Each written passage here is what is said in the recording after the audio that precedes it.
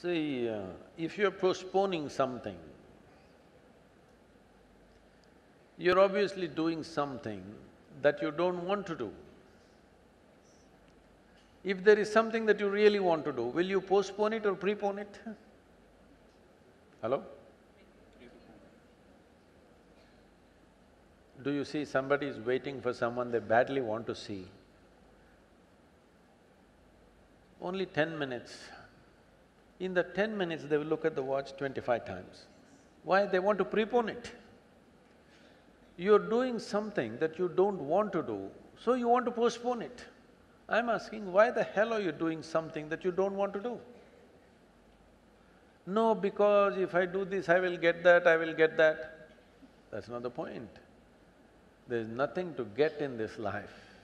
There's really nothing to get in this life. Either you lived this life in a profound and intense manner, or you did not. What will you get in the end? Huh? If somebody dies in the agricultural college, do they bury them or uh, fire them? How is it? What's the tradition?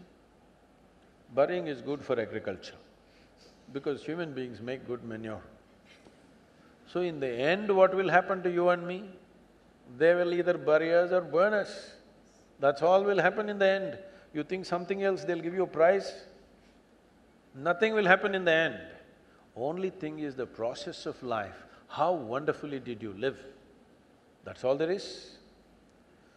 So if you are doing something really wonderful, do you want to prepone it or postpone it? Huh? Prepone only. So you must find what is it that you really want to do. If you find that one thing, you will always prepone everything, not postpone.